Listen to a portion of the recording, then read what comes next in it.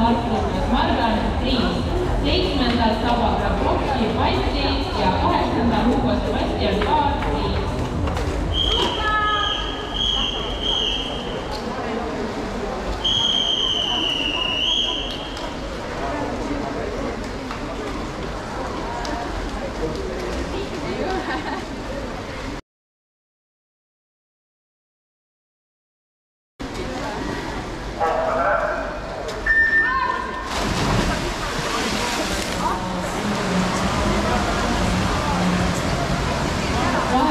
made a new